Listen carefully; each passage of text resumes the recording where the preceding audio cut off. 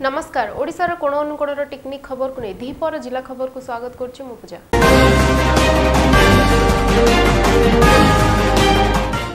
କେନ୍ଦୁଝରର ଗୁରୁକୁଳ କଲେଜରେ ବାର୍ଷିକ ଉତ୍ସବ ଅନୁଷ୍ଠିତ କେନ୍ଦୁଝର ଜିଲ୍ଲା ଘଟଗାଁ ବ୍ଲକ ଗଦାଧରପୁର ସ୍ଥିତ Shri Gurukul model school BEd college ଯୁକ୍ତ ଦୁଇ ବିଜ୍ଞାନ school of rehabilitation and social ସାଇନ୍ସର ନବମ ବାର୍ଷିକ ସେବା ଫାଉଣ୍ଡେସନ ଆନୁକୂଲ୍ୟରେ ଅନୁଷ୍ଠିତ ହୋଇଯାଇଛି କାର୍ଯ୍ୟକ୍ରମ ପ୍ରାରମ୍ଭରେ ସେବା ଫାଉଣ୍ଡେସନର ପୂର୍ବତନ ଅଧ୍ୟକ୍ଷ ସ୍ୱର୍ଗତ କୈଳାସ ଚନ୍ଦ୍ର ସାହୁଙ୍କ ଉଦ୍ଦେଶ୍ୟରେ ଶ୍ରଦ୍ଧା ସୁମନ ଅର୍ପଣ କରାଯାଇଥିଲା ସେବା ଫାଉଣ୍ଡେସନର ଅଧ୍ୟକ୍ଷ ଡକ୍ଟର ସତ୍ୟବ୍ରତ ସାହୁଙ୍କ ପ୍ରତ୍ୟକ୍ଷ ତତ୍ତ୍ୱାବଧାନରେ ଅନୁଷ୍ଠିତ କାର୍ଯ୍ୟକ୍ରମରେ ମ୍ୟାନେଜିଂ ଟ୍ରଷ୍ଟି ସରୋଜ କୁମାର ସାହୁଙ୍କ ସଭାପତିତ୍ୱରେ ମୁଖ୍ୟ ଅତିଥି ଭାବେ ପରମ ପୂଜ୍ୟ ସ୍ୱାମୀ ବ୍ରହ୍ମାନନ୍ଦ ସରସ୍ୱତୀ ଯୋଗଦେଇ ଛାତ୍ରଛାତ୍ରୀ ଓ ଜନସାଧାରଣଙ୍କୁ ମହତବାଣୀ ପ୍ରଦାନ କରିଥିଲେ। ବରିଷ୍ଠ ଆଇଆଇଟିଏନ୍ ତଥା ଅର୍ଗାନିକ ଫାର୍ମିଂର ଗବେଷକ ବିଶାଲ ସିଂ ଶିକ୍ଷାବିତ୍ ଶରତ ଚନ୍ଦ୍ର ସାହୁ ପ୍ରମୁଖ ସମ୍ମାନିତ ଅତିଥି ଭାବେ ଯୋଗ ଦେଇଥିଲେ। ଶ୍ରୀ ଗୁରୁକୁଳ ମଡେଲ ସ୍କୁଲ ମାଧ୍ୟମିକ ବିଭାଗର ବରିଷ୍ଠ ଶିକ୍ଷକ ମହେଶ୍ୱର ମହାନ୍ତି ବାର୍ଷିକ ବିବରଣୀ ପାଠ ଓ ଶିକ୍ଷକ ଧବଳେଶ୍ୱର ବେହେରା କାର୍ଯ୍ୟକ୍ରମରେ ସଂଯୋଜନା କରିଥିଲେ। ଏହି ଅବସରରେ କୃତି ଛାତ୍ରଛାତ୍ରୀଙ୍କୁ ପୁରସ୍କାର ପ୍ରଦାନ କରାଯାଇଥିଲା। କାର୍ଯ୍ୟକ୍ରମ ଶେଷରେ ଛାତ୍ରଛାତ୍ରୀଙ୍କ ଦ୍ୱାରା ସାଂସ୍କୃତିକ କାର୍ଯ୍ୟକ୍ରମ ମଧ୍ୟ ପରିବେଷଣ ହୋଇଥିଲା। ଘଟଗାଁରୁ ରାହାସ ବିହାରୀ ନାୟକଙ୍କ ରିପୋର୍ଟ ଓଡ଼ିଶା ମୋବାଇଲ ଟିଭି। ଗଜପତିରେ ଇସ୍ତଫା ଦେଲେ ବିଜେଡିର ବହୁ ଦଳୀୟ କର୍ମୀ। ଇସ୍ତଫା ଦେଇଛନ୍ତି ହଜାରରୁ ଉର୍ଦ୍ଧ୍ୱ ଦଳୀୟ କର୍ମୀ। ଗଜପତି ଜିଲ୍ଲା ବିଜେଡି ଦଳର ପ୍ରାଥମିକ ସଦସ୍ୟ ପଦରୁ ଇସ୍ତଫା ଦିଆଯାଇଛି। ନିଜ ନେତାଙ୍କୁ ଟିକେଟ୍ ଦିଆଯାଇନଥିବାରୁ ଏହାର ପ୍ରତିବାଦ କରିଛନ୍ତି ପୂର୍ବତନ ବିଧାୟକ କେ ନାରାୟଣ ରାଓଙ୍କ ସମର୍ଥକ। ବିଭିନ୍ନ ଅଞ୍ଚଳରୁ ପ୍ରାୟ ଏକ ହଜାରରୁ ଉର୍ଦ୍ଧ୍ୱ କର୍ମୀ ଓ ପଞ୍ଚାୟତ ଲୋକ ପ୍ରତିନିଧି ଉପସ୍ଥିତ ରହି ଦଳରୁ ସମୂହ ଇସ୍ତଫା ନିଷ୍ପତ୍ତି ନେଇଛନ୍ତି। ଇସ୍ତଫା ପତ୍ର ଦଳର ଅଧ୍ୟକ୍ଷ ଶ୍ରୀଯୁକ୍ତ ନବୀନ ପଟ୍ଟନାୟକଙ୍କୁ ପଠାଯିବା ନେଇ ଆୟୋଜିତ ସାମ୍ବାଦିକ ସମ୍ମିଳନୀରେ ସୂଚନା ଦେଲେ ପୂର୍ବତନ ବିଧାୟକ କେ ନାରାୟଣ ରାଓ। ନିଜ ସମର୍ଥକଙ୍କ ଅସନ୍ତୋଷକୁ ଦୃଷ୍ଟିରେ ରଖି ସମସ୍ତଙ୍କ ମତ ନେଇ ସ୍ୱାଧୀନ ପ୍ରାର୍ଥୀ ଭାବେ ନିର୍ବାଚନ ଲଢ଼ିବା ନେଇ ଆଲୋଚନା ହେଉଛି। ଅପରପକ୍ଷରେ ଏହିପରି ପ୍ରଭାବଶୀଳ ନେତାଙ୍କୁ ହାତଛଡ଼ା ନ କରି ନିଜ ଦଳ ଆଡ଼କୁ ଆକର୍ଷଣ କରିବାକୁ ମଧ୍ୟ କିଛି ଦଳ ପକ୍ଷରୁ ପ୍ରୟାସ ହୋଇଥିବା ମଧ୍ୟ ଚର୍ଚ୍ଚା ହେଉଛି। ଇସ୍ତଫା ଦେଇଥିବା ନେତୃବୃନ୍ଦଙ୍କ ମଧ୍ୟରେ ତିନି ଜଣ ବ୍ଲକ ସଭାପତି ଦୁଇ ଜଣ ବ୍ଲକ ଅଧ୍ୟକ୍ଷ ଛପନ ଜଣ ଲୋକ ପ୍ରତିନିଧି ସତଷଠି ଜଣ ବ୍ଲକ ସ୍ତରୀୟ ବିଭିନ୍ନ ଦଳୀୟ ପଦାଧିକାରୀ ରହିଥିବା କହିଛନ୍ତି। ଗଜପତିରୁ ଗିରିଧାରୀ ପରିଛାଙ୍କ ରିପୋର୍ଟ ଓଡ଼ିଶା ମୋବାଇଲ ଟିଭି। ଖୋର୍ଦ୍ଧାରେ ଅଙ୍ଗନବାଡି ଦିଦିଙ୍କ ମନମୁଖୀ କାର୍ଯ୍ୟ ଯୋଗୁଁ ଗ୍ରାମବାସୀଙ୍କ ଭିତରେ ଦେଖାଦେଇଛି ଅସନ୍ତୋଷ। ଖୋର୍ଦ୍ଧା ଜିଲ୍ଲା ଚିଲିକା ବ୍ଲକ ହାଟବରଡି ଗ୍ରାମ ପଞ୍ଚାୟତ ଜୟନ୍ତୀପୁର ଅଙ୍ଗନବାଡି କେନ୍ଦ୍ରରେ ନିଯୁକ୍ତି ପାଇଥିବା ଅଙ୍ଗନବାଡି ଦିଦି କୋମଳମତୀ ଶିଶୁମାନଙ୍କ ଖାଦ୍ୟ ହଡପ କରି ପିଲାମାନଙ୍କୁ ଗାଳିଗୁଲଜ ଆଦି ପ୍ରତିବାଦରେ ସ୍ଥାନୀୟ ଗ୍ରାମବାସୀମାନେ କାର୍ଯ୍ୟରତ ଅଙ୍ଗନବାଡି ଦିଦି ବିଷୟରେ ସିଡିପିଓ ଚିଲିକା ବିଡିଓ ଚିଲିକାକୁ ଲିଖିତ ଅଭିଯୋଗ କରିଥିଲେ ମଧ୍ୟ ସେମାନେ କୌଣସି ଆଖିଦୃଷ୍ଟିଆ କାର୍ଯ୍ୟାନୁଷ୍ଠାନ ନେଉନାହାନ୍ତି। ପ୍ରତିବାଦରେ ସ୍ଥାନୀୟ ଲୋକମାନେ ଏହି ଅଙ୍ଗନବାଡି କେନ୍ଦ୍ରରେ କାର୍ଯ୍ୟ କରୁଥିବା ଦିଦିକୁ ଏଠାରୁ ବହିଷ୍କାର କରିବା ଦାବିରେ ଦୀର୍ଘ ତେର ଦିନ ହେବ ତାଲା ପକାଇ ରଖିଛନ୍ତି। ପିଲାମାନେ ପାଠ ପଢି ପାରୁନାହାନ୍ତି। କାର୍ଯ୍ୟରତ ଅଙ୍ଗନବାଡି ଦିଦି ଓଲଟି ଗ୍ରାମବାସୀମାନଙ୍କୁ ଧମକ ଚମକ ଦେଇ ମିଥ୍ୟା କେସ୍ରେ ଫସାଇ ଦେବାକୁ ଯୋଜନା କରି ପରୋକ୍ଷରେ ଧମକ ଦେଉଥିବାର ଗ୍ରାମବାସୀମାନେ ଅଭିଯୋଗ କରିଛନ୍ତି। ଖୋର୍ଦ୍ଧାରୁ ବିକ୍ରମ ସାହୁଙ୍କ ରିପୋର୍ଟ ଓଡ଼ିଶା ମୋବାଇଲ ଟିଭି। ଏବେ ସମୟ ଛୋଟ ବିରତିର।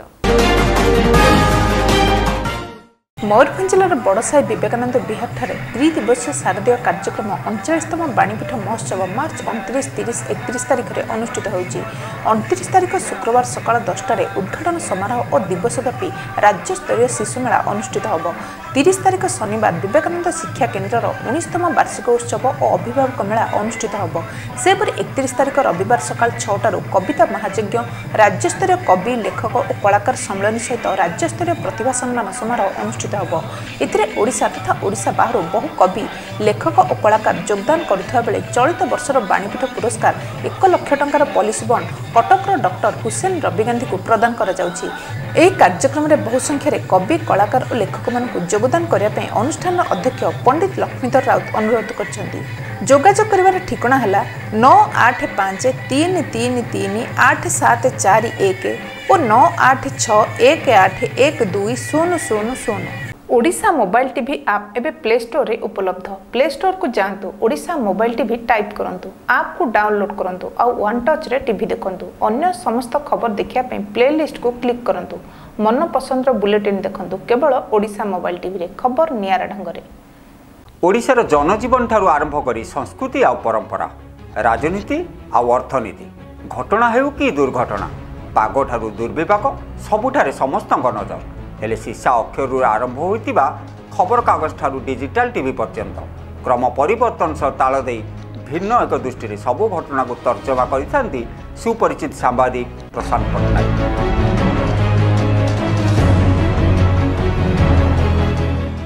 ଓଡ଼ିଶାର ଅତୀତ ବର୍ତ୍ତମାନ ଓ ଭବିଷ୍ୟତ ସମ୍ପର୍କରେ ଉପସ୍ଥାପନ କରିବେ ସାମ୍ବାଦିକ ପ୍ରଶାନ୍ତ ପଟ୍ଟନାୟକ। କେବଳ ତୃତୀୟ ନୟନରେ।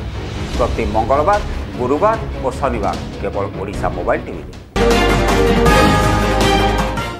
ବିରତି ପରେ ସ୍ୱାଗତ ଫୁଲବାଣୀରେ ଆଗାମୀ ନିର୍ବାଚନ ପାଇଁ ପ୍ରସ୍ତୁତି ଜୋରଦାର ଭାରତୀୟ ନିର୍ବାଚନ ଆୟୋଗଙ୍କ ଦ୍ୱାରା କନ୍ଧମାଳ ଜିଲ୍ଲା ପାଇଁ ନିଯୁକ୍ତି ପାଇଥିବା ବୟ ପର୍ଯ୍ୟବେକ୍ଷକ ଶ୍ରୀ ରାମେଶ୍ୱର ମୀନା ଗତକାଲି ଫୁଲବାଣୀରେ ପହଞ୍ଚିଛନ୍ତି ପ୍ରାର୍ଥୀପତ୍ର ଦାଖଲ ପୂର୍ବରୁ ସେ ପଞ୍ଚାୟତ ଭବନ ସମ୍ମିଳନୀ କକ୍ଷରେ ଚଳିତ ଦୁଇ ହଜାର ସାଧାରଣ ନିର୍ବାଚନ ପାଇଁ ନିଯୁକ୍ତି ପାଇଥିବା ସହକାରୀ ବୟ ପର୍ଯ୍ୟବେକ୍ଷକ static surveillance team flying squad sector officer ଏବଂ ମିଡିଆ ସାର୍ଟିଫିକେସନ ଏବଂ ମନିଟରିଂ ଟିମ୍ର ସମସ୍ତ ସଦସ୍ୟମାନଙ୍କୁ ନିର୍ବାଚନର ଅବ୍ୟବହିତ ପୂର୍ବରୁ ସେମାନଙ୍କର କାର୍ଯ୍ୟାବଳୀ ଉପରେ ସମଗ୍ର ଧାରଣା ଦେଇଥିଲେ। ବିଶେଷ କରି ସହକାରୀ ବୟ ପର୍ଯ୍ୟବେକ୍ଷକମାନେ ସ୍ୟାଡୋ ରେଜିଷ୍ଟର ଏବଂ ପ୍ରାର୍ଥୀଙ୍କର ହିସାବ ରେଜିଷ୍ଟରକୁ ମିଳାଇବା ବେଳେ ଯତ୍ନବାନ ହେବାକୁ ଗୁରୁତ୍ୱ ଦେଇଥିଲେ। ସେହିପରି ଫ୍ଲାଇଂ ସ୍କ୍ୱାଡ୍ ପଚାଶ ହଜାରରୁ ଅଧିକ ଟଙ୍କା ଆକାରରେ ଠାବ କଲେ ଆୟକର ବିଭାଗକୁ ତୁରନ୍ତ ଜଣାଇବାକୁ ପରାମର୍ଶ ଦେଇଥିଲେ। ପ୍ରାର୍ଥୀଙ୍କର ନିର୍ବାଚନ ଖର୍ଚ୍ଚ ହିସାବ କଲାବେଳେ ସେମାନଙ୍କୁ ଦିଆଯାଇଥିବା ଦର ତାଲିକାକୁ ଯତ୍ନର ସହ ଦେଖିବା ଦରକାର ବୋଲି ଜିଲ୍ଲାପାଳ ଡାକ୍ତର ବୁନ୍ଦାଡି କହିଥିଲେ କନ୍ଧମାଳ ଆରକ୍ଷୀ ଅଧୀକ୍ଷକ ଶ୍ରୀ ପ୍ରତୀକ ସିଂ ଆଦର୍ଶ ଆଚରଣ ବିଧି ଉଲ୍ଲଂଘନ ଉପରେ ବିସ୍ତୃତ ଆଲୋଚନା କରିବା ସହିତ ଆବଶ୍ୟକ ପଡ଼ିଲେ ନିକଟସ୍ଥ ଥାନାରେ ସହଯୋଗ ନେବାକୁ ପରାମର୍ଶ ଦେଇଥିଲେ।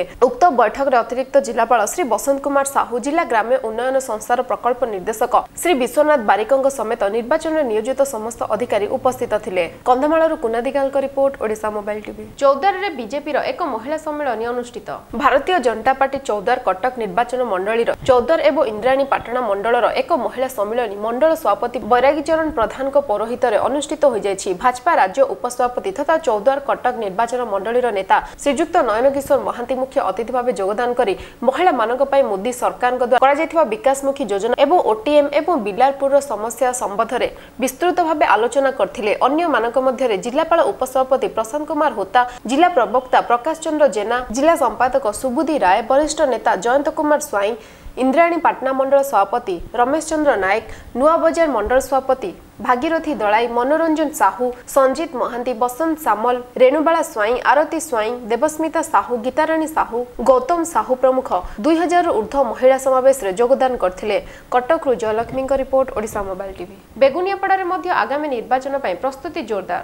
চলিত বর্ষ সাধারণ নির্বাচন পাই বিভিন্ন রাজনৈতিক দল পক্ষ টিকেট পেড়ি খোলার লাগিছে। গতকাল কবি সূর্যনগর বিধানসভা আসন পাই বিজেডি পক্ষ লতিকা প্রধান টিকেট হাতেইছেন সে দুই হাজার চৌদরে টিকেট পাই সুজ্ঞান সেনা পক্ষ দাবি করা ফলরে টিকেট ফেরাই বর্তমান সুজ্ঞান আশীর্বাদ লতিকা টিকেট পাই জনাপড়ি কংগ্রেস পক্ষ ময়দানক ওহ্লাইছেন বর্তমান কংগ্রেস জেলা কার্যকারী সভাপতি বিজয় কুমার সাহু পূর্ব সে কংগ্রেস টিকেটে দুই হাজার দশ ঠার দুই হাজার তের মধ্যে খল্লিকোট এনএসি অধ্যক্ষ ভাবে কার্য করছেন দুই হাজার ଚଉଦ ମସିହାରେ ଏହି ଆସନରୁ କଂଗ୍ରେସ ଟିକେଟରେ ସୀତାରାମ ପାଣିଗ୍ରାହୀ ଲଢ଼ି ବିଜେଡି ପ୍ରାର୍ଥୀ ଭି ସୁଜ୍ଞାନ କୁମାର ଦେଓଙ୍କଠାରୁ ପରାସ୍ତ ହୋଇଥିଲେ। ଅନ୍ୟ ପକ୍ଷରେ ବିଜେପିର ପ୍ରାର୍ଥୀ ଘୋଷଣା ହୋଇନଥିବା ବେଳେ ଗତଥର ବିଜେଡି ଟିକେଟ ଲବିରୁ ହାରାସ ହୋଇ ସ୍ୱାଧୀନ ପ୍ରାର୍ଥୀରେ ଲଢ଼େଇ କରି ଆମେ ସ୍ୱାଧୀନ ଆମ ନେତା ନବୀନ ନାରା ଦେଇ ସୁଜ୍ଞାନଙ୍କଠାରୁ ପରାସ୍ତ ହୋଇଥିଲେ ମଧ୍ୟ ବର୍ତ୍ତମାନ ସୁଦ୍ଧା ପୁଣି ବିଜେଡି ଟିକେଟ ଲବିରେ ଥିଲେ। ହେଲେ ଏବେ ସମସ୍ତଙ୍କ ନଜର ନିରାଶ ହେବା ପରେ ତାଙ୍କର ରଣନୀତି କ'ଣ ରହିବ?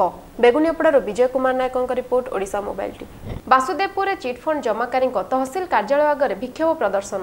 ଭଦ୍ରକ ଜିଲ୍ଲା ବାସୁଦେବପୁର ତହସିଲ ସାମ୍ନାରେ ମଙ୍ଗଳବାର ଆର୍ଥିକ ସଂସ୍ଥାମାନଙ୍କ ଦ୍ୱାରା କ୍ଷତିଗ୍ରସ୍ତ ଜମାକାରୀ ମିଳିତ ମଞ୍ଚର ଆହ୍ୱାନରେ ଶତାଧିକ ଚିଟଫଣ୍ଡ କ୍ଷତିଗ୍ରସ୍ତ ଜମାକାରୀମାନେ ବିକ୍ଷୋଭ ପ୍ରଦର୍ଶନ କରିବା ସହିତ ଧାରଣାରେ ବସିଥିଲେ। ଆସନ୍ତା ନିର୍ବାଚନ ପୂର୍ବରୁ ଯଦି ସରକାର ଜମାକାରୀଙ୍କ ଜମାରାଶି ଫେରସ୍ତ ପାଇଁ କୌଣସି ପଦକ୍ଷେପ ନ ନିଅନ୍ତି ତାହେଲେ ଉଚିତ ଜବାବ ଦିଆଯିବାର ଧମକ ଦେଇଛନ୍ତି।